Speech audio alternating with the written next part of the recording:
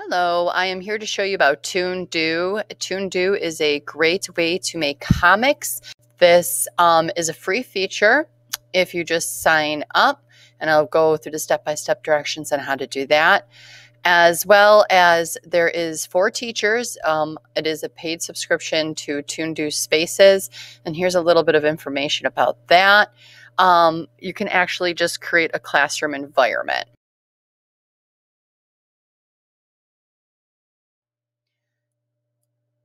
So to sign up for free, it's just a simple click here to sign up and you can actually try the 15 day trial and then decide to sign up from there, or you could just sign up for ToonDoo itself. A little bit of information for you, a little bit of background. If your students are not used to typing in their passwords, or generating a password on their own, I highly suggest, depending on the age and skill level, you creating the account for them as you see, it already auto-filled some of my information. And it's very simple. You just type in a username, password, and an email ID. It does require an email ID.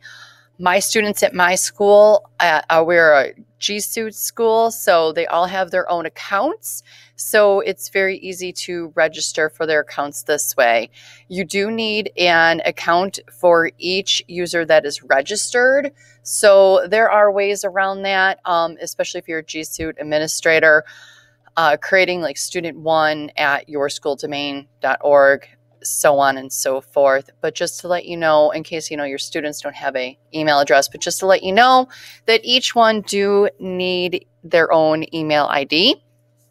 And the downfall here, the reason why I bring up the password is that you could only type it in once. So it doesn't double check that you typed the password incorrectly. Uh, take it from my experience. If your students are not used to typing in their passwords, and you have the email feature off of the students although they have the id the email feature is turned off for my some of my younger students uh, checking their password is it takes several steps to do that so just a little insight a little learn from my experience if you will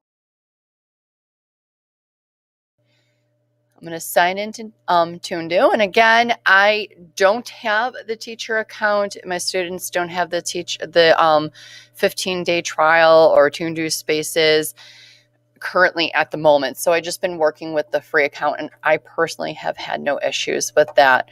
So once they log in, they would go to, your students would go to uh, Toons. I'm in the top left hand corner and down to create a tune. And as you see, the reason why I love ToonDoo is because you're able to save your comic strips. Um, this is great for especially if you're working on a project and you you need to save and come back to it a different time. So your students will come in and create a tune. And for me, I want them to create a tune that is three or more, three or four layouts. So I'm going to select three layouts just to give you an example of what it's like to create a comic strip using ToonDoo. Very user friendly, very easy to use interface. So let's dive right in. I always like to tell my students to work back with the background first and then up to the foreground. And the background is the second tab uh, and then from there, you have different subjects to choose from. And because my students are using this for internet safety at, at the second grade level, we always talk about where could this conversation start. And I want them to use their creativity and be insightful about their uh, storyline that they're presenting in the comic strip but I try to gear them towards an indoor conversation, particularly one in a classroom. But I like to see the creativity, and I'm fine with them using like an outdoor playground, them talking to their friends, and so on and so forth. Okay, let's get back to creating a ToonDoo. So uh, I'm going to pick a background, and all it is is a simple drop and drag motion here. And now they're going to develop their scene. So what they could do is now decide what characters they would like to choose. We're going to go and select some kids. And as you see, there are 12 pages of children that they can choose from in different scenarios, different style of children.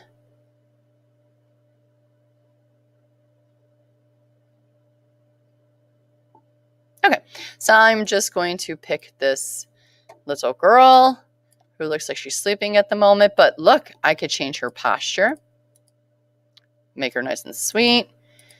There we go. Okay, we got a little posture. The color just makes it from black and white to original color, and then I can add a character. When my students are creating uh, the comic strip about internet safety, I want them to present it in a way where they're having dialogue or conversation between two or more people. So I'm going to go in and pick a teacher.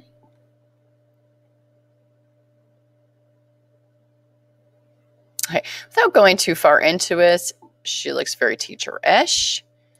So again, I can go in and change her body posture. I could change her face facial features. I can make her larger if I want her to be taller in comparison to the student. I would click on her and show your students that you can actually enlarge or shrink each element that you place in. You can also clone. Very easy way to make a copy. To delete, it's simple. Make sure whatever it is, item it is that you want to delete and click the delete button down at the bottom. Um, there, of course, there's different elements, there's different prompts that you could be adding. Let me give you an example. Here's some of the indoor stuff. And you know I'm going to use a tablet, right? Bring that in. See that tablet is pretty huge. And again, we're going to use our skill of shrinking it down. We can also rotate it so it looks like it's in her hand. And then there's other elements you can add in. Um, different kind of characters, tune scribbles. There's the special, the Christmas magic, uh, open clip art, which just gives you a little bit more of a variety of tools to use. And then your gallery, if you pull images or create characters around the web. For second grade, I like to keep this very, very basic and straightforward. So, what goes on in a comic strip? Of course, dialogue the conversation between the two or more individuals. This gives you a brief description of how to control and type the word bubbles. So let's take a look at that. The different styles of word bubbles that are presented. And again, it's a simple drop and drag. Oh, didn't mean to move her. And now I'm going to move the little nodule here to make it look like my student is talking. And we are going to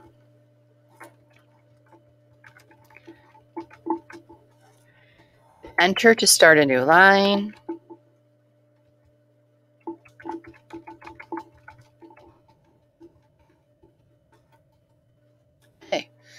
Um, again, it moves sort of over the page. This is really large. You can shrink this down. The word bubbles shrink down just as easily. And it's a lot of moving and getting your characters into place and lined up correctly. Now, say they want to keep it in the same room. The room hasn't changed. They're having a conversation all within this classroom. Toondoo made this very simple of just making a copy of the image and we could drag it here. And now it's just simply going in and making some adjustments.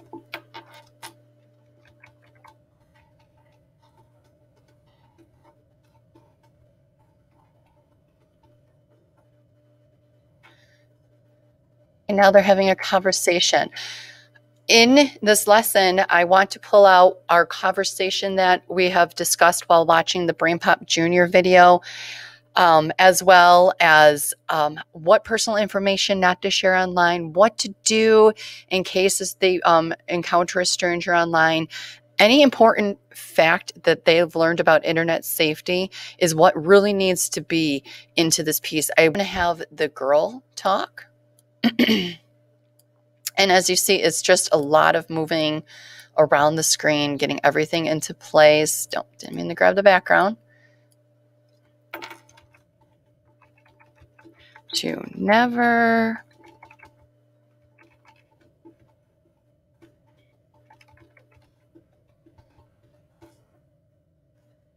I don't even know if I spelled that right. It's off the page.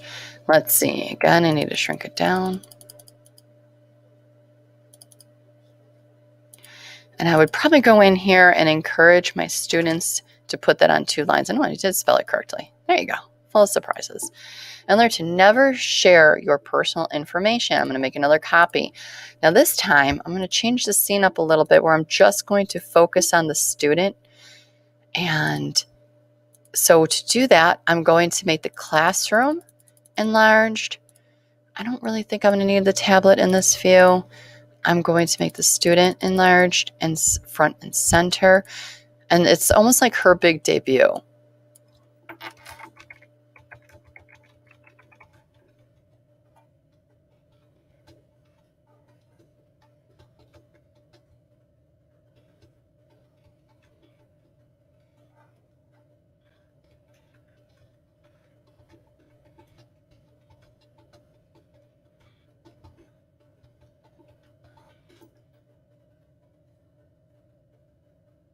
Okay, so really, I want the students to list between two and three items of something that they learned um, online about being safe. Now they can go in and list. Never give out your picture, your phone number, your address. Uh, if it's something like don't download anything without your parents' permission, don't go on websites that your parents uh, that unless you have your parents' permission these are the elements that I'm really looking for for them to pull out as our conversation and our mind map that we created in BrainPop Junior. The first step really should be um, to change the untitled to make it a titled comic strip, internet safety, and that's just simply going in there and changing that. And now we're going to save. So if they're in the middle of their um, ToonDoo comic strip or towards the end, they're just going to go up to this main menu, save as. Uh, I usually like to give them, um, have them fill in the description, get used to that. Tags, we talk about tag um, words so others can find their comic strip. So they could put internet safety for a tag. Um, I would uncheck to let others redo, allow others to purchase this ToonDoo. The bottom half is really up to you and your comfort level and how um, you have established your rapport with your parents and really the guidelines of what you are using this for. Uh, I myself would publish it to the world. I want them to be digital writers. Um, you can keep it private where they can print it or they can um, share just that with you. So I'm going to publish the world just to show you what that looks like. Okay. Then you have the option to print the ToonDoo when you're done. And this is great if you want to have something that's printed. For me in the tech lab, a lot of times, you know, the projects are on the computer. So I really want to show the uh, rest of the school or for parent teacher conferences what their students are working on in class. And sometimes the students really want to bring home a paper copy. So it's okay to go ahead and print that. Okay, so going back to my main screen of the ToonDoo comics, you can see that some students have been working on comics, and this is when they publish it um, for everybody to see. So you can actually go in and view other students' comics that they've been working on. And when you are going to either share it or you need to go back and work on it, again, you would go to Toons and then My Do's.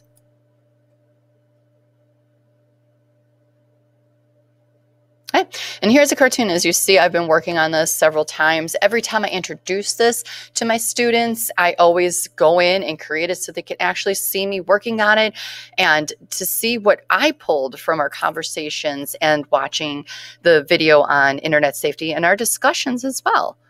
Okay, so let me show you the difference between a published to the world as opposed to private. So if I go in and I click preview, Okay. Other students or teachers can go in and they can actually vote on my ToonDoo cartoon. I can go in and download it and save it as a JPEG. If you're interested in posting this on your website by any chance, you can go in and grab that code. Okay. You can also post it to social media as well, or you can purchase a high resolution of this cartoon. So these are just a variety of ways that you can actually obtain your ToonDoo. You can email it to their parents. All great. Okay, so now here's the difference between private. It will not allow you to post to Facebook or Twitter. You can still download it, grab the code, and you can actually vote on it um, as a personal level. It wouldn't be out, out there for anybody else to see. Okay, well, that's it. That's ToonDoo in a nutshell. Very basic introductory. Again, this is what I use for my second grade. There's a lot of great advantages um, all the way up through high school. This this is a great tool to use. Free to use. Again, if you do the ToonDoo spaces, that has a little bit of a fee behind it, um, but it is a great way for you to have control over your classrooms in a classroom environment. Okay, that's all.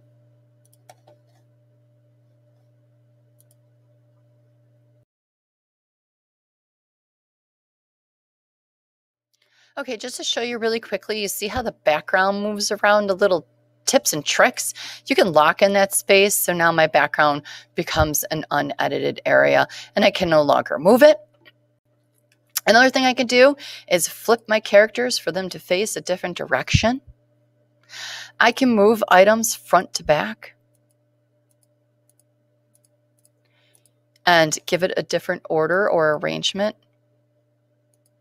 I could change my prop. And that's what this prop means.